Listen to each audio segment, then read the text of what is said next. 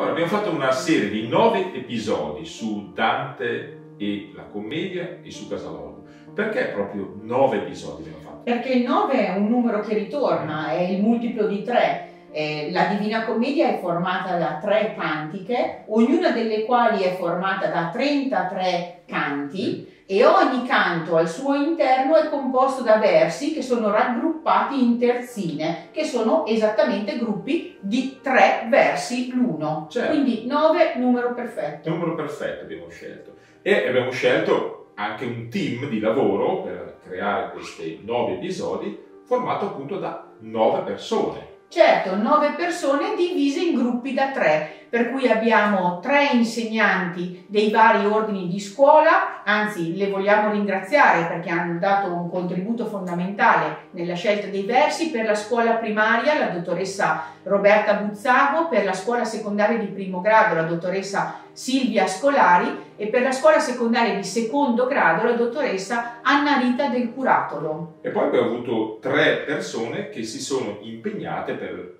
la parte tecnica insomma, della faccenda. fondamentale direi. Quindi Luca eh, Angolini per la parte che riguardava l'immagine, eh, Emanuele Rastelli per la parte musicale, il contributo musicale e infine per la diffusione Carlo Cattaneo. E poi abbiamo avuto le tre menti pensanti, per così dire, inferno, purgatorio e paradiso. Chi mette l'inferno, purgatorio e paradiso di queste tre No, menti non addentriamoci in giudizi di valore, però le tre, eh, i tre ideatori in qualche modo, Sì. oltre a, a me, Emma Raschi e eh, Gianna Gazzi, ovviamente, abbiamo avuto anche eh, la persona che sta al di là della macchina da presa che c'è di fronte ed è il regista Walter Borghetti, originario tra l'altro di Casaloldo. E ultima domanda che ti faccio, Emma, ma perché questo bisogno di fare nuovi episodi a Casaloldo sulla Divina Commedia e in particolare sull'inferno?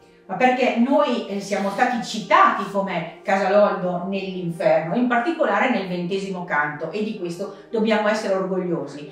Eh, Casaloldo ha dedicato a Dante una lapide che è appunto apposta sulla nostra eh, torre civica Forse andiamo a vederla dopo. Direi che è un'ottima idea. Questa lapide, tra l'altro, è stata sistemata lì il 14 settembre di 100 anni fa, eh, esattamente nel seicentesimo anniversario della morte, così come nella stessa- nello stesso anno è stata dedicata alla nostra scuola, che è appunto la scuola primaria dedicata a Dante Alighieri. Sempre a Dante abbiamo nominato la via che i casaloldesi di un tempo conoscevano come la via dei negozi, che è quella che proprio corre vicino al vaso tartaro.